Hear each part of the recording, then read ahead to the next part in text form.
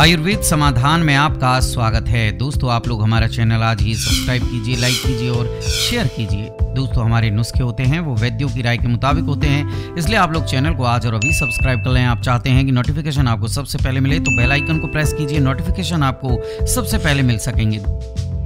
दोस्तों, आज हम आपकी त्वचा की देखभाल कैसे की जाए, इसका प्रयोग बताने जा रहे हैं। इसके लिए दही ही काफ़ी है। आजकल के वातावरण के लोग ज़्यादा उम्र के ना होते हुए भी त्वचा से बूढ़े लगने लगते हैं। इन सब का कारण खराब खान पान की आदतें, प्रदूषण तथा जीवन शैली में परिवर्तन हो सकता है।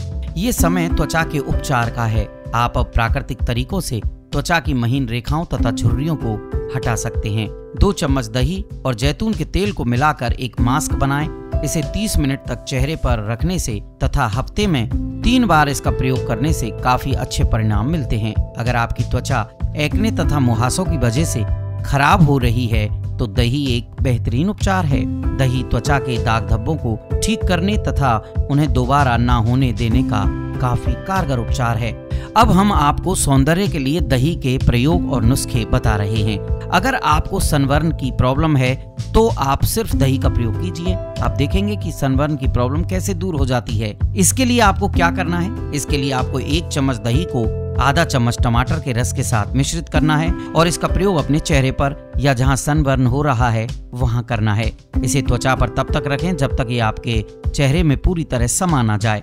इसके बाद इसे आप पानी से धो लें। अगर मृत त्वचा है, यानी डेड सेल्स तो उनको दूर करने के लिए भी आप दही का प्रयोग करें, क्योंकि आप दही का प्रयोग करके त्वचा की मृत परतों को दूर कर सकते हैं।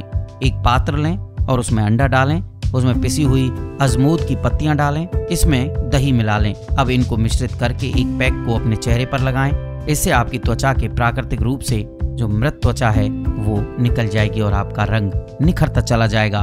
त्वचा का हल्का रंग करने के लिए भी संतरे के छिलके के साथ आप दही का प्रयोग कर सकते हैं। आप अपनी त्वचा की रंगत को दही और संतरे के छिलके के अंश की मदद से हल्का कर सकती हैं। इसके लिए संतरे के छिलके को सुखाकर, अच्छे से पीस कर चूरा बना ले। अब इस मिश्रण को बेहतरीन बनाने के लिए इसमें दही का मिश्रण करें।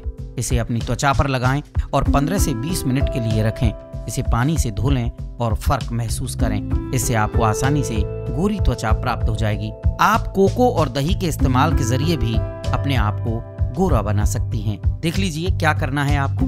इसके लिए आपको एक छोटे से पात्र में कोको पाउडर लेना है और उसमें एक चम्मच दही को मिश्रित करना है। अब दोनों को अच्छे से मिलाएँ और अपने चेहरे पर लगाएँ। इसे आधे घंटे के लिए छोड़ दें और इसके बाद इसे ठंडे पानी से धो लें। एक बार चेहरे को धोकर अच्छे से पहुँच लें। ये आपकी त्वचा में दोबारा नमी का संचार करने का काफ़ी अच्छा तरीका है। आज ही इसका प्रयोग करें और फ़र्क देखें अपनी आँखों से।